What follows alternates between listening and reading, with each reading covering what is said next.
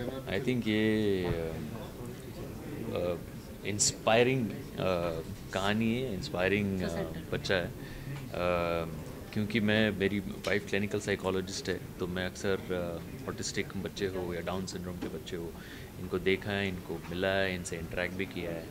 और इनफैक्ट कुछ लिमिटेशंस होते हैं बट लिमिटेशंस के ऊपर मात कैसे करते हैं ये लोग और कैसे आ, कुछ जो चाहिए वो अचीव कर लेते हैं? I think it's a great example तक यहाँ पे जो है परफॉर्म कर रहा है डांस कर रहा है और अक्सर वैसे माना जाता है कि ये एक चीज़ के बियॉन्ड कुछ कर नहीं पाते लेकिन यू नो दीज डेज़ मैंने देखा है बहुत सारे बच्चे जो डाउन सिंड्रोम के बच्चे हो वो आ, अपने आप को प्रूव करने की एक उनमें शक्ति है एक लगन है।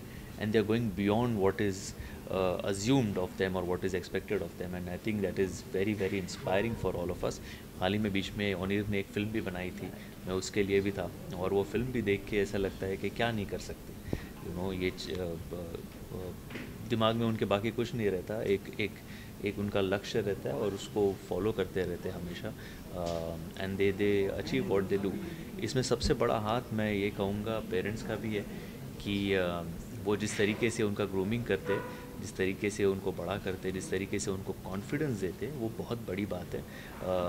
पेशेंस जिस तरीके से उनके साथ रखते हैं और वो उन्हें जो अचीव करना चाहते हैं, उसमें हेल्प करते सो आई थिंक पेरेंटिंग भी बहुत मायने रखता है इस चीज़ में। बहुत सीखने वाली बात है। हम सभी के लिए कि चाहे यू नो मुश्किलें जो भी हो जो इकबाल की थीम थी मेरे फ़िल्म की सो समवेयर कहीं ना कहीं मैं जब ऐसे बच्चों को देखता हूँ जो ऑर्ड्स को बीट करके अचीव कर करते तो बहुत अच्छा लगता आपकी पहली फ़िल्म भी इकबाल भी कुछ ऐसी तरह थी जो बिल्कुल जो सुन नहीं सकता बोल नहीं सकता ऐसा बंदा इंडियन क्रिकेट टीम के लिए क्रिकेट खेलना चाहता है और वो फाइनली वो अचीव कर लेता है। सो आई थिंक एक कहीं ना कहीं कनेक्शन है मेरा इन बच्चों के साथ सो बड़ा अच्छा लगता है कि जब कोई इकबाल की भी बातें करता है, कि कहता है, इकबाल से हम इंस्पायर होके हमारे बेटे ने ये किया, वो किया, फलाना यू नो सो अच्छा लगता है। एंड जब आप ऐसा हीरो कोई देखते हो, कि जो अपनी लिमिटेशंस पे मात करके कुछ बन जाए, कुछ कर दिखाए तो it is it is in itself inspiring story और मुझे इकबाल की बड़ी याद आती है। जब इस तरह के बच्चे कुछ करना चाहते हैं तो उनको किस तरह से प्रोत्साहन करना चाहिए हमको? नहीं, यही है इनफैक्ट आज उनके माँ बाप उनके लिए जो कर रहे हैं ये उसे बहुत खुशी देगा, उसे बहुत इनक्रेज करेगा कि वो और कुछ नया अटेम्प्ट करे, नई चीज़ करने की कोशिश करे खुद को सेल्फ रिलायंट करे इंडिपेंडेंट बने। क्योंकि मेरे ख्याल से हर माँ बाप की यही तमन्ना रहती है कि उनके बच्चे बड़े होकर इंडिपेंडेंट बन जाए। यू नो एक पॉइंट के बाद वो चाहते हैं कि जब वो ना रहे तो बच्चे अपने आप को संभाल सके। सो आई थिंक वो जो उनकी कोशिश है उसमें उनको कामयाबी मिले।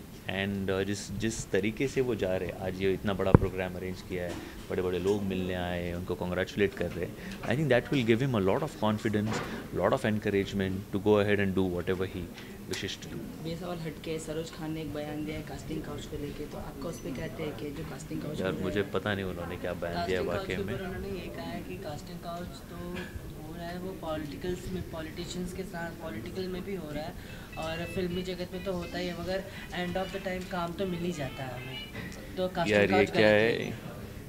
अच्छा नहीं उनकी जो राय है उन्होंने क्या एग्जैक्टली दिया स्टेटमेंट वो पता नहीं बट फॉर्चुनेटली मेरे साथ आज तक कभी ऐसे कास्टिंग काउच वाला मामला हुआ नहीं है। तो I don't I don't think I should be commenting on whatever she has said right ना because I I don't know what exactly she has commented काफ़ी सालों से केस चला रहा था आशाराम बाबू को। आज फाइनली दोषी करार दिया गया उन मामलों में जो रेप किए थे। तो बेसिकली जो दोषी है उनको तो सज़ा मिलनी ही चाहिए। फिर चाहे वो आ, कोई भी लेट नहीं हो रहा कुछ कानून के सी कभी कभी वो कहते हैं ना कि justice delayed is justice denied but I think हमारी इतनी पॉपुलेशन है हमारे कोर्ट्स लिमिटेड है हमारे जजेस वो बेचारे कोशिश कर रहे हैं कि जल्द से जल्द सज़ा मिल जाए। लेकिन कुछ कुछ लूप होल्स होते हैं तो लोग लूप होल्स का भी फ़ायदा उठा के उसको डिले कराते हैं। बट यू नो इवेंचुअली अगर उनको सज़ा मिली है, अगर उन्होंने कोई जुर्म किया, उनको सज़ा मिली है तो वो मिलनी ही चाहिए। और should respect the judiciary and the justice system that we have कल एक महान हस्ती बॉलीवुड के संजय दत्त के ऊपर बायोपिक बन रही है तो उसका टीजर लॉन्च हुआ आपने देखा? बहुत बढ़िया टीज़र है। और मेरे ख्याल से जो डायरेक्टर है वो इतने बड़े डायरेक्टर है और उनसे आप कुछ ऐसा छोटा मोटा या सब स्टैंडर्ड एक्सपेक्ट ही नहीं कर सकते और वो वैसा करेंगे भी नहीं। मैंने टीज़र देखा और मैं हैरान हो गया। वो रणबीर लगता ही नहीं है वो संजू सर ही लगते हैं। और जो मैनरिज्म्स उसने उसमें पकड़े हैं जो स्टाइल उसने पकड़ी है I think it is fantastic it is a lot of hard work and Raju sir की uh, एक और ब्लॉकबस्टर के लिए तैयार हो जाइए इतना ही कहूँगा। आपको कौन सा उनका रोल पसंद है जितना उन्होंने किया संजय दत्त ने? अब तक की संजू सर के तो सभी फ़ैन हैं यार मतलब उनकी ऐसा कोई रोल वो लगभग सारी फ़िल्में देखी है। अ, फिर चाहे वो